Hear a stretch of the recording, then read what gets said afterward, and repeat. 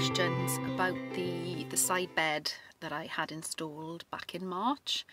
So today it's going to be a fairly quick video, but I'm going to talk a little bit more about why I decided to go for the side bench um, and more about the dimensions and the practicalities really of, of that bed.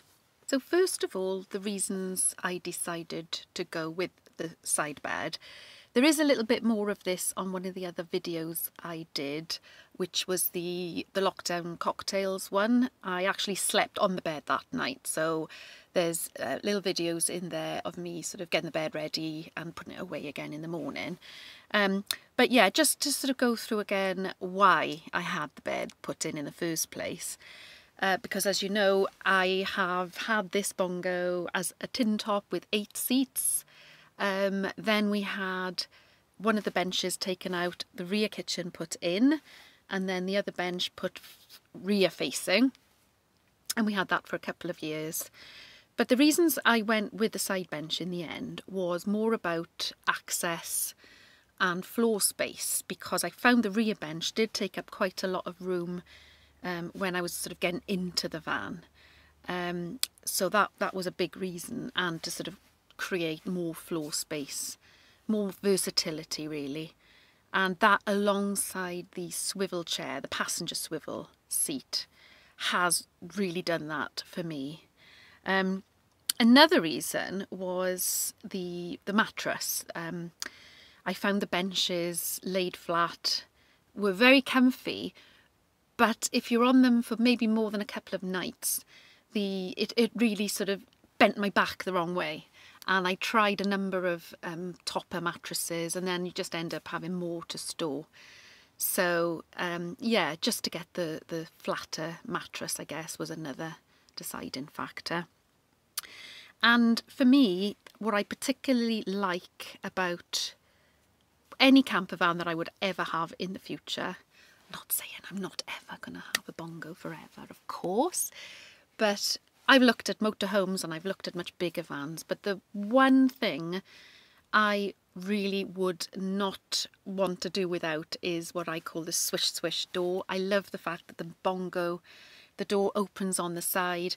And if it's a lovely day and you've got a great view out to the side of the van, the side bench really allows you to sort of just sit and look at that view.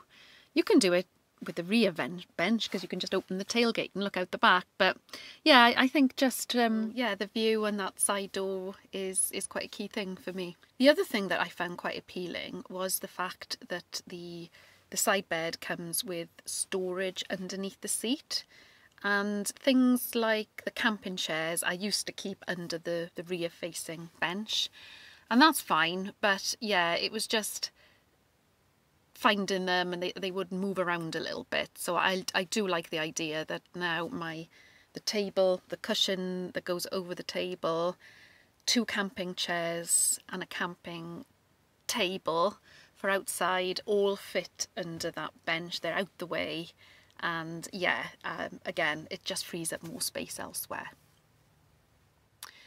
Now, along with all those lovely advantages, of course, there are disadvantages with having the side bed. The most obvious one is the fact that you're very limited with how many passengers that you'd be able to take because of seatbelts. So essentially, we've got a driver and a passenger, and that's the only seatbelts that we've got. Um, it's not really an issue for us because it's it's mostly just the one or two of us going away in any case. But yeah, if you were a family, that's definitely something that would probably, you know, render the side bench not practical for you. Uh, the second thing, it's not, um, I don't think it's a particular problem, but just bear in mind that the bed that you get with this pull-out side bed is, it's a, an irregular shape.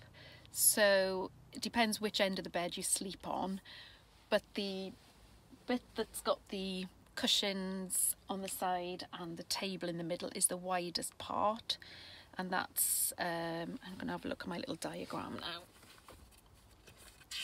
That bit is 127 centimeters at the widest. And then as you come down towards the um, the front of the vehicle it does narrow um, and it goes down down to 115 centimetres at the narrowest.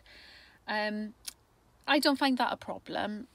And in fact the narrowing bit means that you've got a bit of room to walk down the side near the door.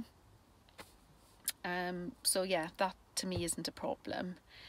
The length of the bed taken into account from the back of my rear kitchen to the edge of the pull-out bed where I'm sitting at the moment um, that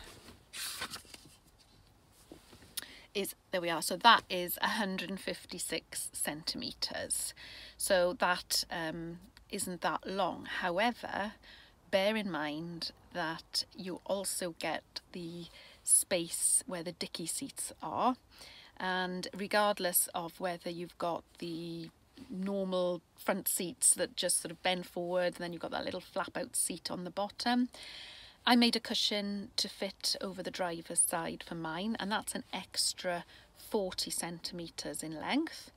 Um, if you've got reversing swivel, uh, sorry, swivel seats, then obviously you've got even more room, but there will be um, irregularity. So I'll just sort of move the camera so you can see what I mean.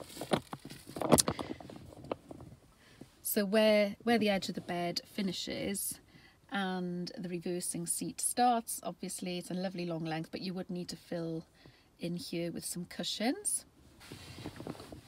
And then this side I made this cushion to fit. It just goes across the dicky seat there. Um, and that's a nice stable length.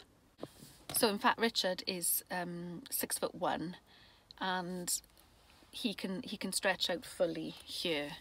So yeah that's it's not a problem. It's just yeah you gotta you got to adapt a little bit to get um, if you're a tall person. So obviously I'm only speaking about the bed that I had fitted. Um, it, it, it, you know there was options you could make it any width at all. So if you don't have a rear kitchen for example and you wanted the full length of your van to be a pull-out bench then that would be entirely possible as well. So I would suggest you um, if it's something you're interested in go to one of the conversion companies. I had mine done at New Dawn Conversions in um, um, and they were brilliant. I, I, would recommend those. So they're very approachable. So yeah make inquiries um, find out the price depending on the size of uh, of the, the pull-out bed that you need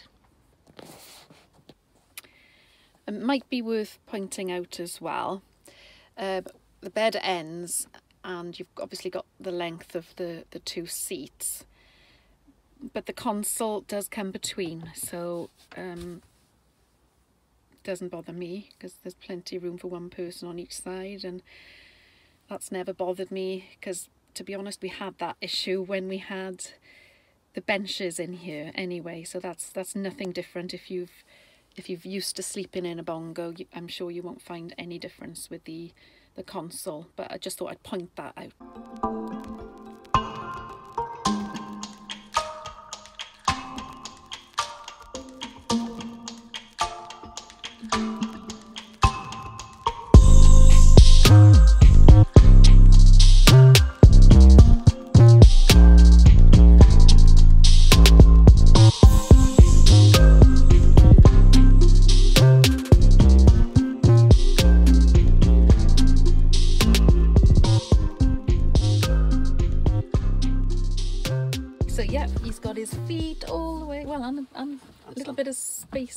Well. So, how does it feel over there? Comfortable.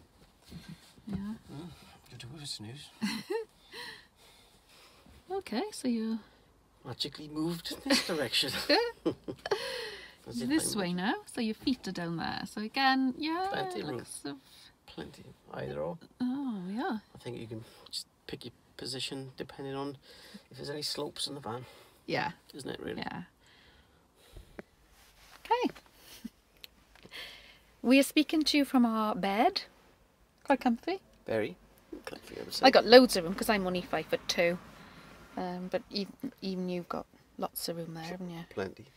I think Richard was anxious to start with when I started talking about changing all the seating. As you thought you were going to be scrunched up. No, I trusted you. He was a little bit nervous, but yeah, I think you're reassured now, No, are it's you? just perfect. There's lots of room. And it's nice and flat.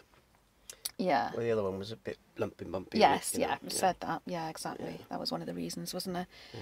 So, all in all, we're really happy with this.